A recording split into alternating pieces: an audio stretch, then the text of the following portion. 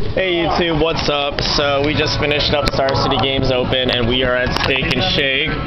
And uh yeah, how'd you how'd you do, Bailey? Uh, went two and one, and then kept on getting bad draws and bad hands against bad matchups. So it's not good. I, I think I did pretty well. A lot of my opponents told me I had the good ability to make their hands really bad. I, I had I had th- uh, two two rounds where my opponents mulliganed to five, and those were the only two rounds I won. So I'm playing Yeah. uh, mono black. I'm playing black devotion with a blue splash, so it's fun. It's pretty fun. You guys should check it out. and then how'd you do, uh, Christian? I'm here at Steak and Shake. Tournament's still going on. All right. Not right. You did better than all of us, though. You know, so. So I'm the biggest trump.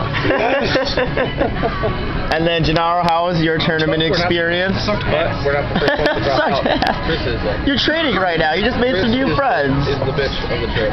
You so you learned so much. Yeah, it's not about winning or losing. It's about having fun and enjoying the good sport of magic.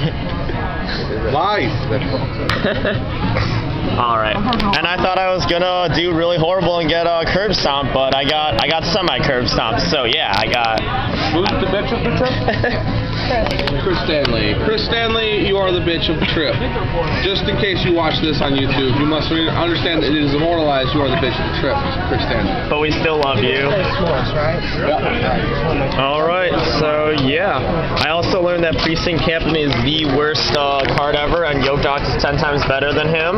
Well, he's not the worst. And and Pithing Needle is the best card in the universe, and I should have listened to Christian and Chris from the beginning. So I apologize in advance. All right. Uh, yep. Peace out, YouTube.